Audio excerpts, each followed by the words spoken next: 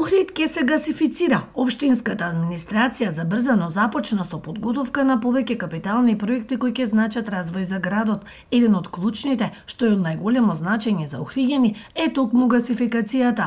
Јас ви уверувам дека во 2018 година ќе имаме далеку посериозно буџетско планирање.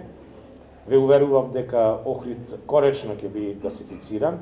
Ве уверувам дека Охрид ќе има решение за студенчишкото блато, ве уверувам дека ќе имаме сериозни и издржани еколошки проекти. Опозиционата ВМРО ДПМН ја обвинува за неразвоен буџет и партиски вработувања. Се намалуваат други останати ставки потребни за развојот на општина Охрид, а се зголемуваат само и само вработувањето, односно буџетот за вработување. Поред првиот човек на градот, буџетот е на исто ниво како и изминатите години, бидејќи општината ја затекнале без ниту еден развоен проект. Новата општинска администрација ќе креира основни проекти за офанзивно прибирање на средства од меѓународните организации.